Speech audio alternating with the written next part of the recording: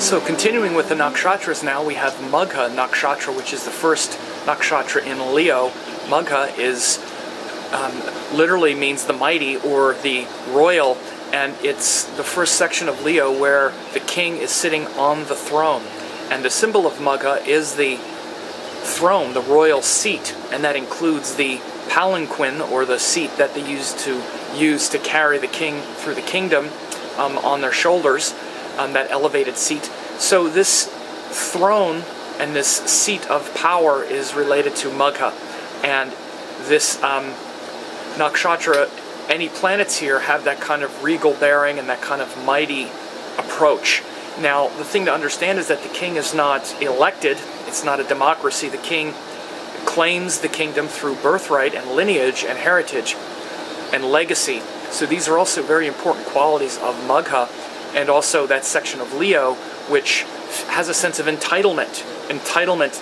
to power. Part of us feels entitled to a certain amount of power and dignity and respect and self-respect. And this is a quality of Magha. And it's that part of Leo that knows that underneath it all we're the king and we deserve respect and you know planets here in Magha sometimes for good or ill can demand respect, demand appreciation. You know, certain planets that don't do so well in Leo might have some problem in Magha because of this kind of, you know, you know, bow before the king kind of attitude. And this is a problem when we mistake our power and our real, you know, claim to power to be something of this world rather than something that's more connected to the divine. This is why the Pitris, the divine ancestors, are the rulers of Magha.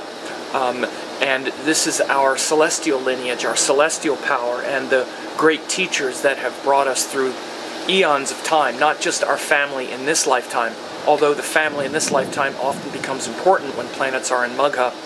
or when someone has, you know, the moon in Magha, or ascendant, or other important planets in Magha,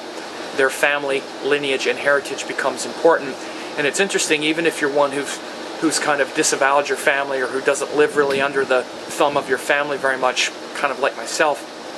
it's interesting when you get a Nadi reading, like I had a very good Nadi reader do my reading a couple years ago, and it was authentic because they there's nothing like having someone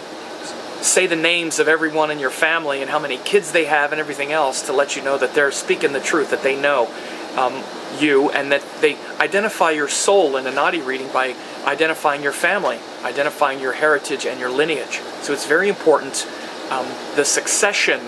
of your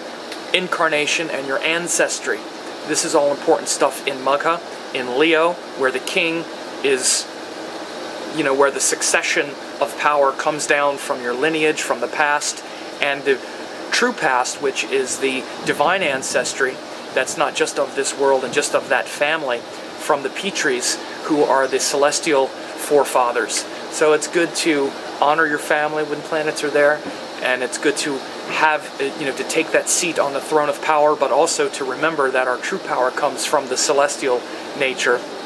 and from the Pitris, the divine ancestors.